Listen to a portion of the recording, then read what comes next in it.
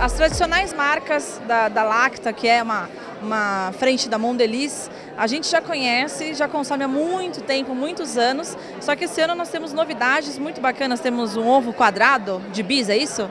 Exatamente. A gente relança o ovo de bis extra esse ano, é um sucesso de vendas e agora ele vem numa versão quadrada que é para aqueles jovens ou a quem, quem não quer um ovo de Páscoa, esse ano pode ganhar um quadrado de Páscoa. Ele vem numa embalagem diferenciada para você poder esconder e não comer com ninguém se não quiser. Você pode fingir que é uma caixa de som e poder comer a hora que você quiser. A gente também tem o relançamento do segundo ovo mais vendido da Lacta, que é o Diamante Negro, uma marca aí já de anos que todo mundo adora, agora com uma nova fórmula, mais cristais, muito mais crocante, tá uma delícia. E o nosso grande sucesso dos tabletes, que é o Lacaório, agora em ovo de Páscoa, também a nossa grande aposta para esse ano, que também tá uma delícia.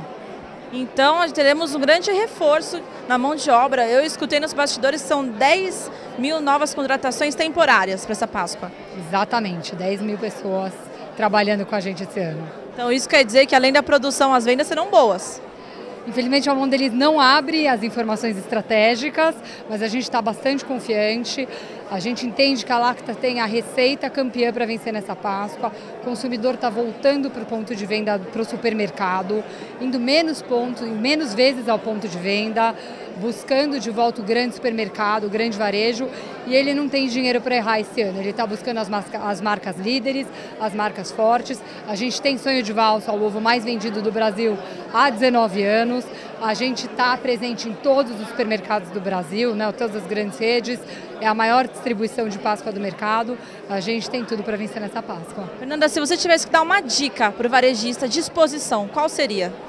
Olha, o consumidor brasileiro está se sofisticando e a Lacta está trazendo toda agora uma proposta diferenciada, entendendo melhor esse consumidor mais sofisticado, para reorganizar as barreiras de acordo com essa necessidade.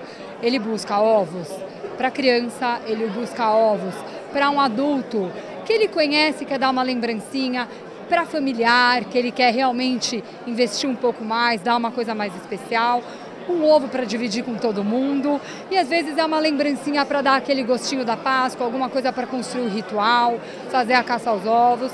Entendendo isso, a gente consegue ajudar muito o consumidor no ponto de venda e melhorar bastante a experiência.